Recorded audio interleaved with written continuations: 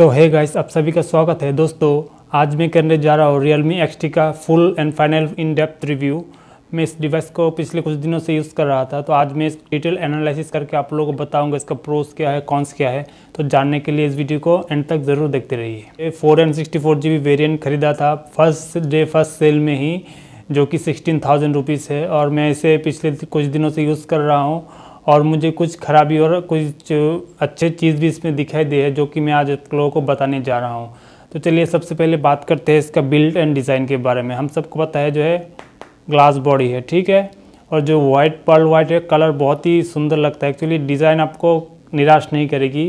ये premium feel है premium look दोनों आपको दे रहा है। देखिए, बहुत ही बढ़िया डिज़ाइन है। 3.5 पॉइंट mm जैक के साथ आता है। तो इसका बिल्ट एंड डिज़ाइन में आपको कोई भी कॉम्प्रोमाइज़ नहीं किया गया है। आपको बहुत ही ज़्यादा पसंद आने वाला है, जो अनबॉक्सिंग में आप लोगों ने दिखा होगा तो पता चल जाएगा। मेरा जो फ़र्स्ट इम्प्रेशन था, उसमें ज़्यादा अच्छा नहीं लगा, जो मेरा इन हैंड फीलिंग है, क्योंकि जो फीलिंग है ना, उतना सॉलिड फीलिंग नहीं है। और पहले मुझे लगा एक ग्लास मतलब प्लास्टिक बॉडी है और पॉलीकार्बन क्योंकि मैं रियलमी टू प्रो यूज़ कर रहा हूँ, जो कि थोड़ा हैवी है और थोड़ा डेंस मतलब हार्ड फीलिंग लगता है। लेकिन इसका मैंने पहली बार पकड़ा तो थोड़ा सॉफ्ट लगा तो मुझे लगा कि अब पॉलीकार्बन है तो मैं थोड़ा डिसअपॉइंट था। लेकिन कुछ दिन गए इस करते करते एक्चुअली मैं इस मोबाइल का जो डिज़ाइन है लुक से बहुत ही ज़्यादा इंप्रेस्ड हूँ। मतलब हर दिन देखता हूँ तो मुझे मतलब बहुत ही अच्छा लगता है। इतना खूबसूरत डिवाइस है। आप इसे अगर सामने से देखेंगे, तभी आप बिलीव कर पाएँगे। और इस मोबाइल का अभी डिस्प्ले के बारे में बात करते हैं। हम सबको पता है सिक्स पॉइंट फोर इंच का सुपर एमोलेट डिस्प्ले है।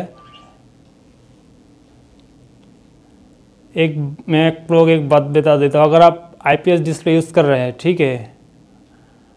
उसके बाद अगर इस डिवाइस पे या फिर कोई भी एमोलेट डिस्प्ले आप यूज़ करेंगे ना, आप उसके बाद आईपीएस डिस्प्ले भूल ही जाएँगे। ये मेरा फ़र्स्ट एमोलेट डिस्प्ले वाला मोबाइल है, ठीक है?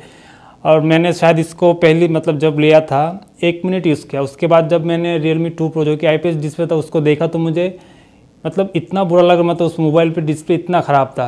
ऑब्वियसली तो मैं बोलूँगा, अगर आप आईपीएस डिस्प्ले चाहते हैं तो ऑब्वियसली लीजिए। और अगर एक बार I P sorry super AMOLED display use कर लिए तो आप आईपीएस डिस्प्ले पे कभी नहीं जाएँगे। इसका डिस्प्ले में कोई कॉम्प्ली मतलब कंप्लेन नहीं है। बहुत ही बढ़िया है, बहुत ही बेहतरीन कलर वाइब्रेंट कलर बहुत ही पंची है तो आप इससे प्यार करने लगेंगे। डिस्प्ले होने का एक फ़ायदा है, आपको इन डिस्प्ले फिंगरप्रिंट स्कैनर मिल जाता है, ठीक है देखिए।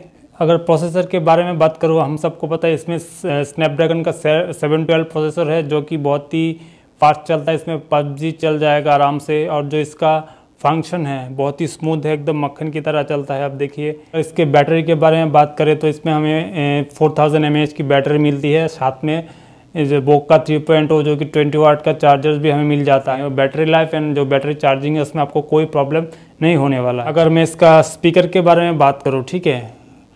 बहुत ही क्लियर है डॉल्बी का आपको सपोर्ट मिल जाता है। क्लियर साउंड है, ज़्यादा लाउड नहीं है, ठीक है? लेकिन इतना बुरा भी नहीं एवरेज से ऊपर है।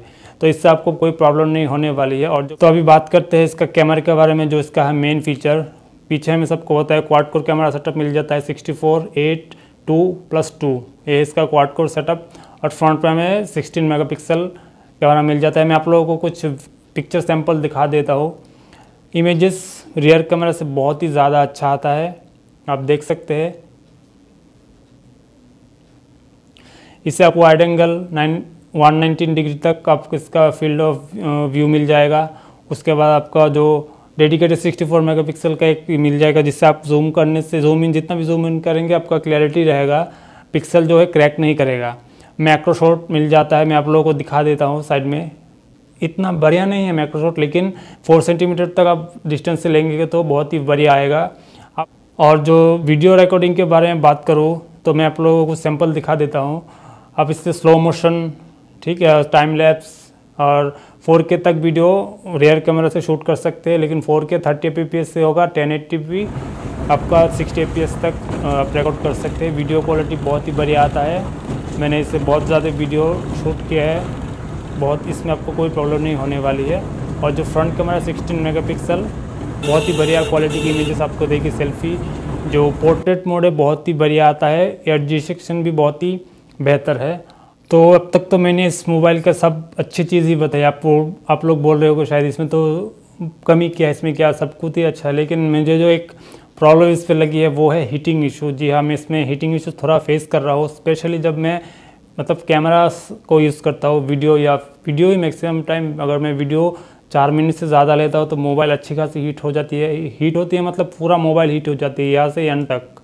फ्रंट बैक पूरा हीट मुझे फील होता है तो इसमें एक प्रॉब्लम है हीटिंग इशू का। मुझे पता नहीं और कोई किसी को इसे फेस हो रहा है या नहीं मैं, लेकिन मेरे, मुझे स्टार्टिंग से ही हो रहा है, क्योंकि मैंने जब अनबॉक्सिंग करके इसे बूटअप किया था तभी से मुझे थोड़ा हीट लग रहा था, लेकिन जब मैं कैमरा को यूज़ करता हूँ तो ज़्यादा ही हीट हो जाता है। आप लोग कमेंट करके ज़रूर बताइएगा, अगर आपको भी प्रॉब्लम हो रहा है, क्या, कि हीटिंग इशू है या नहीं।